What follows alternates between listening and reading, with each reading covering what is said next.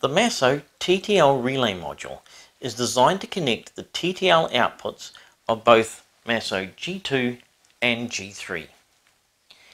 It connects to a 24 volt power supply and all inputs are optically isolated for the protection of your Masso CNC controller. Please do not use the red and black auxiliary power connectors on Masso to power your relay module as these are designed for low power devices only. The relay module has six built-in relays and if another relay module is needed it can be connected to the previous one using the power pass-through connector.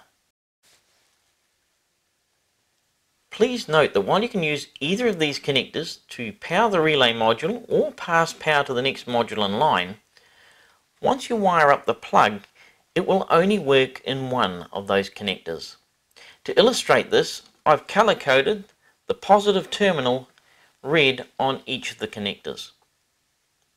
So when I plug in on this side here, everything's good and the positive terminals match.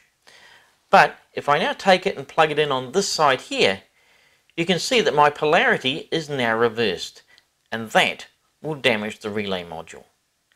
Each relay output consists of a normally open, a normally closed, and a common terminal. Each is capable of passing up to 5 amps at 28 volts DC or 5 amps at 240 volts AC. Each relay module has a green power on LED to indicate the module is powered and each relay on the board has a red and green LED to indicate relay status.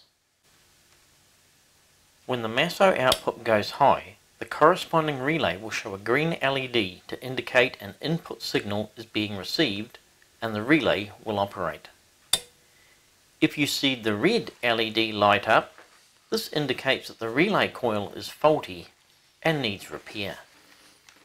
To connect your relay module to Masso, Start by connecting the 24 volt power supply to the relay module.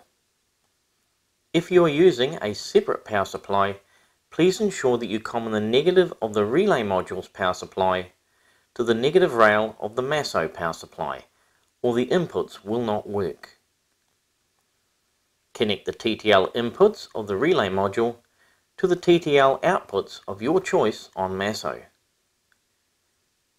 Configure the outputs on the F1 screen to the desired function by selecting the function you want from the drop-down box. If you need to invert the output logic, simply highlight the output and press the spacebar. If you wish to connect an external e-stop relay, connect a wire from the ES output on Masso to the input of the TTL relay. No configuration is required for this output. Connect the relay output contacts as required. In this example, I'm connecting a tower light.